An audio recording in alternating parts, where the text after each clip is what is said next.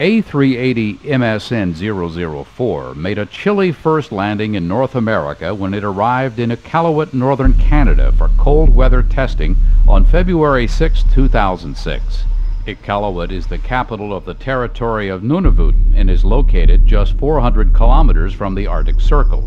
Although very remote, it is a capable airport and has the ability to safely handle large aircraft as a result of it being certified as an alternate airport for the growing number of transpolar routes operated by the world's major airlines.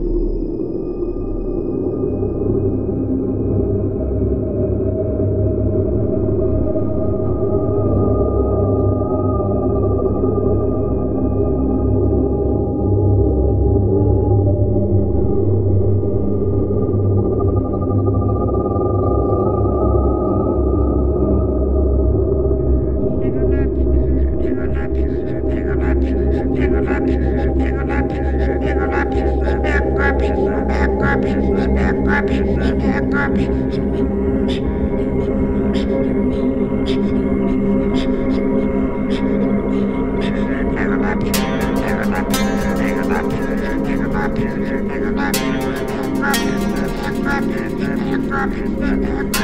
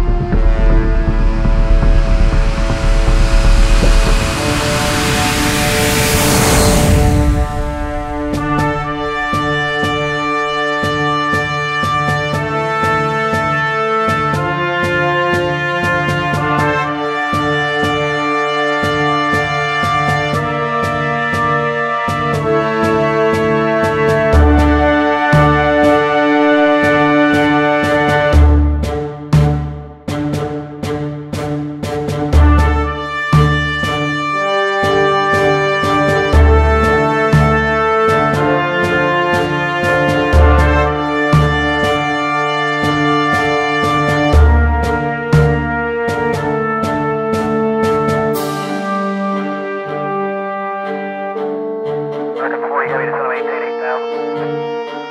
13000 for 8000 America 40 Heavy.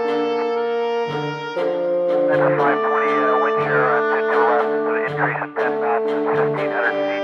And also wind shear at uh, 10 knots to 500 feet, reported by 727.